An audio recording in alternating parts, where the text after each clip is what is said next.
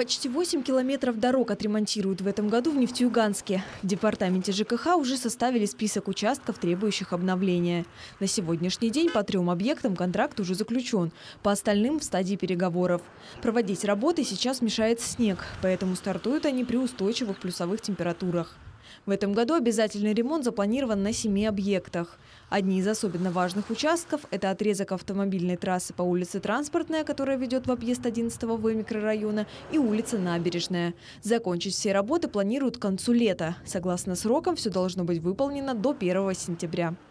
Раньше ремонт выполнялся за счет средств местного бюджета, плюс там, доля окружных в этом году именно в рамках э, ну, таких значимых э, программ. Национальный проект России и команда Югры.